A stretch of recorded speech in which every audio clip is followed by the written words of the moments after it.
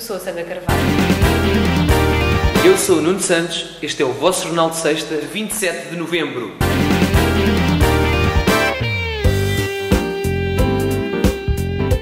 A Terras de Sicó viu aprovado pelo Mais Centro o projeto Gestão de Resíduos e Empreendedorismo nas Escolas.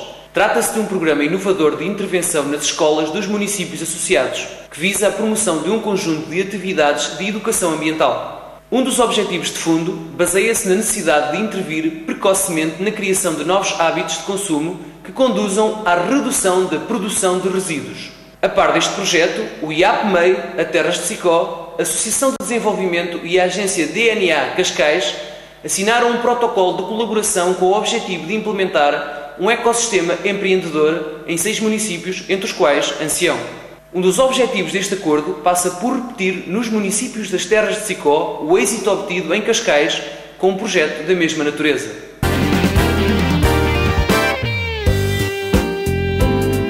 No próximo dia 19 de dezembro, o Centro Cultural de Ancião acolhe mais um concerto de Natal promovido pela Sociedade Filarmónica de Santa Cecília.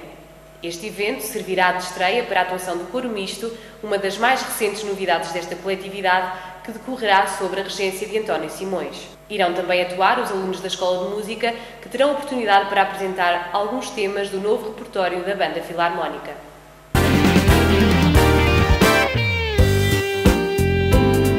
No feriado de dia 1 de dezembro, terça-feira, o Atlético Clube Avelarense promove a sua terceira caminhada. As inscrições podem ser feitas até hoje na Farmácia Medeiros, no Avelar ou no Jornal Horizonte. É mais uma oportunidade para as pessoas desfrutarem de um dia diferente, aliando o exercício físico e a boa disposição. A taxa de inscrição inclui a oferta de uma t-shirt e do almoço, sendo o pontapé de saída às 9 horas na sede do Atlético Clube Avelarense.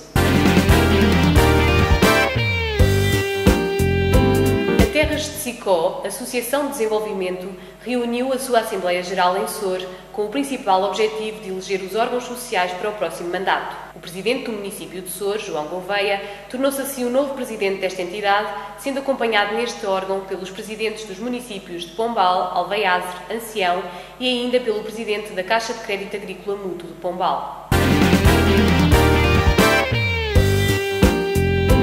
No futsal, o Clube Caçadores de Ancião foi perder por 4 bolas a uma no pavilhão do Grupo Cultural e Desportivo das Figueiras no dia 21. Após a sexta jornada do Campeonato Distrital, a equipa ancianense está na sexta posição da classificação geral com 10 pontos, menos 6 que o primeiro classificado.